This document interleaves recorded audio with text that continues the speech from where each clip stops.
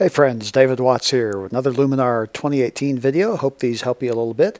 If you like what we do, please click subscribe and that helps us a lot. Most of us you know, do these little videos because we like to help, uh, but it's also nice. We get a little bit of advertising revenue from YouTube, which is kind of nice. Um, but YouTube has recently decided to change up uh, their whole advertising model, and unless we have a thousand subscribers, we won't get any little bit of revenue. I think for me, maybe I've got 50 bucks sitting out there. It helps a little bit. So anyway, if you can be sure to subscribe if you like the videos, I sure appreciate that. And uh, we'll try to keep making these no matter what because it's kind of fun to share tips and tricks with each other. Anyway, I thought I'd show you three quick things today.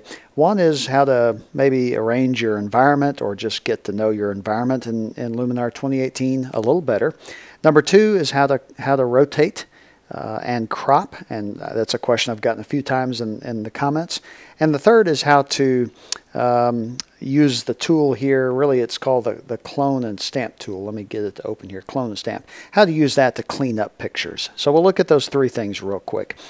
Uh, first of all, you'll notice down here I've got the bottom panel open, and that is normally something I close. And so I just want to show you where that's controlled right here. This is the preset panel it's better, I find, to close it. Now, you might have some presets you really, really like. Great, use them and then close it up. You need the screen space unless you've got, you know, a great big screen. I'm working on my laptop today, so I can use the screen space.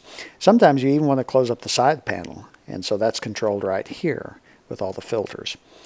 The other couple of quick things I wanted to show you is right here is the um, uh, histogram. All right, so you can open and close that. Here is the layers section. So if you've seen some other videos, we show you how to use some layers. So that's controlled right here. Sometimes you might prefer to close that up. Usually I keep that open. And finally, here's the information. It's just a tiny panel. Frankly, I wish there was just a bit more. I'd like to see shutter speed up here. I haven't found a way to add that or to um, uh, to, to have that added. So maybe that's something Luminar, uh, the folks at Skylum can do for us. I like to see shutter speed here as well. But anyway, that doesn't take up much space. But just wanted you to see, first of all, how to control all those. And my suggestion to you is generally get rid of the presets. They take a lot of screen space, and it's better without it. So that's number one, just a quick tip.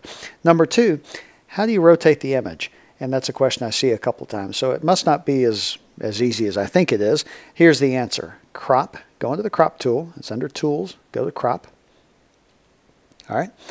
And just right here on the side of it, you'll see how the cursor changes into sort of a rotation type thing and just click and drag.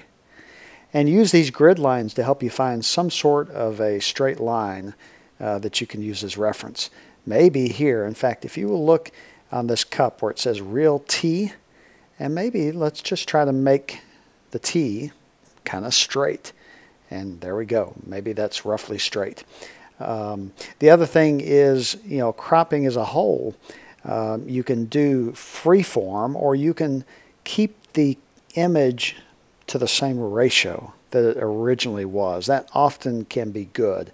So if you do that, you'll see we keep the same ratio of image. All right. And, and Luminar is not going to throw away this part out here. If you accept this, let's do that. And then you decide otherwise, come back in that image is still there. You haven't thrown anything away. Oh, and as you can see, I accidentally sort of transposed it there. Let's. I changed it from a 3 to 2, uh, which is what it normally is, to a 2 to 3. So we can flip it back up this way, I think. There we go. And we can stretch it back out, make it just as big as it originally was. So anyway, that's how you do the rotation. You can do it just like that course, if you have some big movements you want to make, I think you can do that. Yep, right here, 90 degree sort of rotations. But for the small fine tuning, just do it right here. Okay, and the final thing I thought I'd show you, so that's number one and two, we covered it quickly.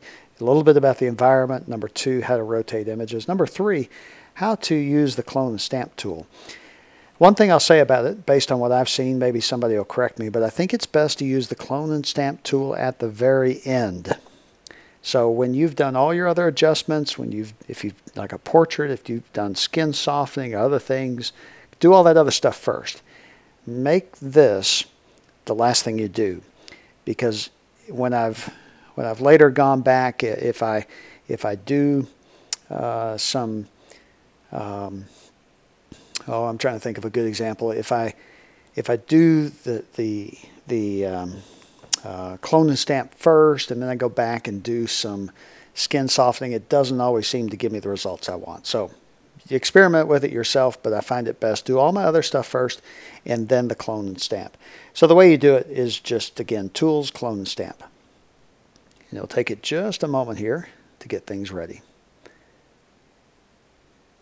And here we go. Okay, first thing you got to do is click to set the source. So let's pretend like we want to get rid of the word it's, okay? So we're looking for something else that should be a pretty close match uh, to, to the area we're going to remove. And I'm going to suggest you can often find it in the same plane, maybe the same horizontal plane or the same vertical plane. I'm going to go the same vertical plane uh, because some the, the light, I think, changes, you know, from here to here uh, horizontally, but is about the same vertically, and that can be an important thing to get good matching material. Essentially, this source is where the program is going to look uh, and where it's going to draw from in order to obliterate uh, the word its. So we'll click right here. Then the cursor changes. This is now the shape of uh, the paintbrush essentially. And I can control the size of that. Um, on the Mac keyboard, it's th these braces kind of symbols, uh, kind of the upper right, just above the return key. Uh, I can go smaller, I can go bigger, all right? So the other thing you can do is set the softness. The softness, if I, let's do this. Let's make it 100% soft, and let's make the tool quite big. The softness is that second, that outermost ring. The, the ring that's circled by the orange is the kind of the key area where we're painting. And the rest of it, that soft area sort of trails off the effect. And, and so it can be very useful to help the painted area blend in with the rest of the area, if that makes sense. Um, We'll reduce the size again now. The other thing you can do is adjust opacity. At 100%, what you're painting is solid. All right, the, the underneath will not shine through, so to speak. Um, if you were to reduce opacity to 1%, then basically 99% of what's underneath will shine through. But at 100%, it'll, it'll totally obscure it. So here's, let's, let's just try a little. Now, the thing is, as we click and drag, that's one way we can do this, you see we start painting over this. And, and the source moves. It's sort of reminding us of where we're pulling from. So you, it's kind of good to keep an eye on that source and make sure that you're not about to, to run over some area that you really didn't want to, to, to run over. Now, as you see, when we're doing this, we sometimes get some little extra spots we didn't anticipate. And so what I'll often do is update my source position. And I'll hold down the control key Let's see if I get this right. It's actually the option key, I believe. Yeah, it's actually the option key on the Mac. I'll hold it down to select a new source. So I'm going to come over here just a little bit, just kind of get out of the area. And I've picked a new source, and then very carefully, this time I'll just sort of click. I won't necessarily drag too much. I'll just click a little bit in that area and do it a few times, and that pretty well gets rid of it. The other thing you sometimes I, I like to do uh, is just sort of click randomly within the area we've replaced. And it just seems to help avoid any unpleasant artificial aspect of this this uh, clone and stamp by just sort of clicking in a few places. It just kind of, I think, disrupts the pattern, makes it look a bit more real. If you noticed up here, I, I did, because I was using a little bit of a soft brush, I got a little bit of painting essentially in this area between the L and the T and it, it rubbed off. I'm not trying to do it perfect right now. I'm just trying to show you the technique and you can practice with it uh, on your own. A couple of things to remember though. Uh, you've got the ability then to, to back this out. So here's all the brush strokes we made, okay, all the way back to the very beginning. So you need to go backwards, no problem. Just go back and start over. Uh, and finally, when you're done, then click Done. What that'll do is it makes a new layer. So uh, unlike other cases where you have to sort of deliberately say I'm creating a new layer, this one just does it automatically. So here's your original image down here. Okay. And you'll notice the original image still had the word it's in there. here's the new clone and stamp layer laid on top. All right, and you can always turn that off and back on to see the effect. And in doing that, you will be able to notice where I messed up a little bit. See this L and the T, when I turn it back on, you'll be able to see how I got it a little bit wrong. But that's the point. You just have to practice with it and play with it.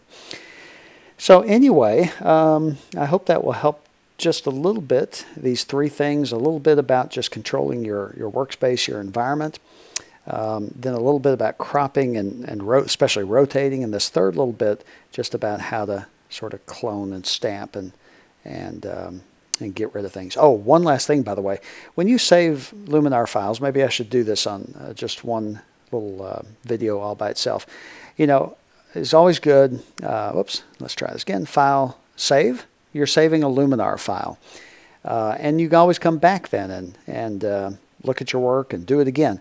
When you export, be sure that you are sitting on your top layer. If you're click down here on the bottom layer and you export, you're going to export exactly what you see. You're going to say, hey, where'd all my work go? Well, you got to be highlighted on the topmost layer when you click File and Export. And export out to a JPEG or PNG or whatever you like just make sure you're on the top layer. Anyway, maybe we'll make a special video on that. I hope that helps a little bit. Just another little set of tips and tricks I thought I might could share with you, and uh, maybe, maybe it'll help you somehow.